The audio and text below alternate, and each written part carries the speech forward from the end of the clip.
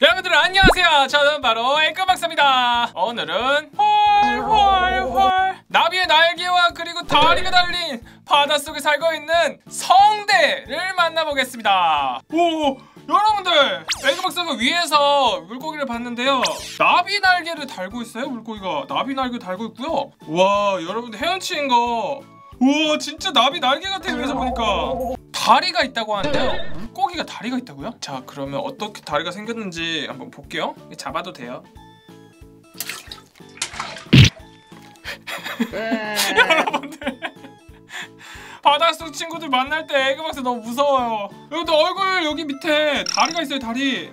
하나 둘셋 반대쪽에도 하나 둘 셋. 다리가 총 6개 있는데요. 바다 밑에를 이렇게 기어다니기도 하고요. 그 다음에 사냥할 때도 쓴다고 해요. 네 안녕하세요. 백스님 안녕하세요. 엉금엉금 만나서 반가워. 그리고 다른 이름은 달갱이라고 불려. 달갱이. 물고기 중에서 특이하게 소리도 낼 수 있어.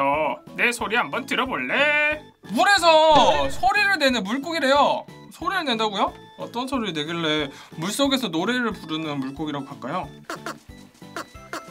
소리 내어 소리를 꼭! 꼭 상대 친구들의 서식환경 갯벌 같은 얕은 물이나 400m 정도 되는 물에서도 살고 있어요 그 주로 수면 위보다는 바닥에서 발로 이렇게 기어다니면서 살고 있다고 합니다 날아올라 나비가 되고 싶어 어? 드디어 바닷속 물고기 전용 먹이를 사왔어요. 여기 먹이를 보면요. 오메가3도 첨가가 돼 있다고 하네요. 자 먹이를 한번 주도록 하겠습니다. 뭐, 뭐, 어, 어? 안 먹어요. 왜 물고기 먹이를 안 먹는 거야? 새우를 좋아한다고 하는데요. 새우 맛이 안 나서 그런가요? 영양분이 엄청 많이 함유된 먹인데. 따 여러분들 성대 친구들이요 새우를 좋아한대서 특별히 구해왔습니다. 새우를 한번 줄게요. 짠짠짠짠. 자 새우 투하.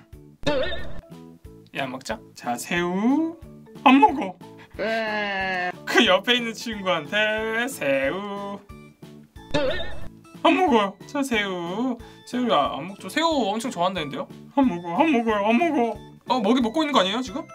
새우를 이렇게 바라보기만 할 뿐 먹진 않네요. 여러분들 에그박스 준비한 먹이 먹이기는 이렇게 실패!